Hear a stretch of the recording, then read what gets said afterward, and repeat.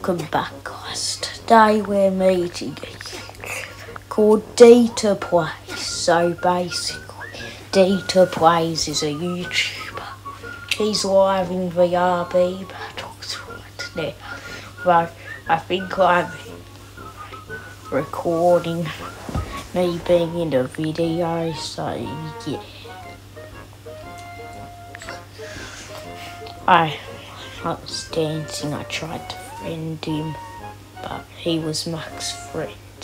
So, basically, it's big channel news. I hope you like Data Place and my channel.